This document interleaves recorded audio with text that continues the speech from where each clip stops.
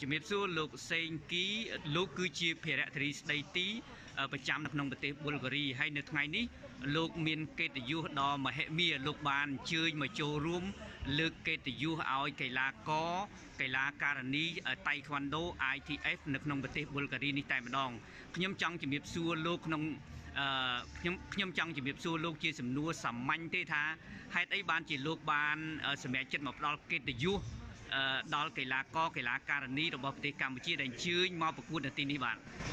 បាទជំរាបសួរបាទអឺការមកលើកទឹកចិត្តចំពោះអឺក្រុមកីឡាករកម្ពុជាក៏ជាផ្នែកមួយនៃអឺកិច្ចការងារស្នូលរបស់ស្ថានទូតកម្ពុជាដែរដែលមកក្នុងនាមធ្វើម៉េចការពារអឺ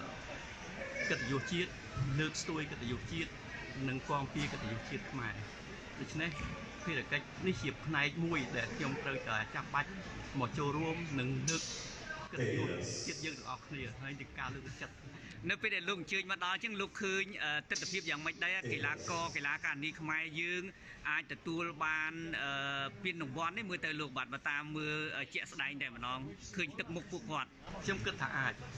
ហើយនេះជាលើកទី1ដែលខ្ញុំមិននឹកស្មានថាអឺក្រុមកីឡាករយើងមកមានចំនួនច្រើនរហូតដល់24នាក់ ហើយក្នុងនោះ7ដណ្ដប់អ្នកមានទាំងនារីមកចូលរួមទៀតបាទហើយអឺខ្ញុំឃើញទឹកមុខអឺកីឡាករយើងមានភាពក្លាហានមានភាពស្វាហាប់ហើយនឹងមានភាពមាំមួនហើយអឺខ្ញុំជឿថានឹងមកទទួលនៅមេដាយ មាសបាទបាទហ្នឹងហើយបាទសុំសំណួរចុងក្រោយមួយទេលោកបាទលោកជូនពរឲ្យកីឡាករកីឡាការិនីតៃខ្វាន់ដូ ITF នឹងទទួលបានអឺលទ្ធផលយ៉ាងម៉េចដែរបាទខ្ញុំអឺក្នុងនាមថាទូតកម្ពុជានៅបូរីគឺថាសូមឧទ្ទិសជូនពរដល់ក្រុមកីឡាករយើងនឹងគឺថាសូមឲ្យបានទទួលជោគជ័យនិងទទួលមេដាយបាទដើម្បីនាំយកទៅគិតអឺលើកស្ទួយកិត្តិយសជាតិនៅក្នុងអឺប្រទេសបូរីនេះហើយនឹងពំនាំនៅ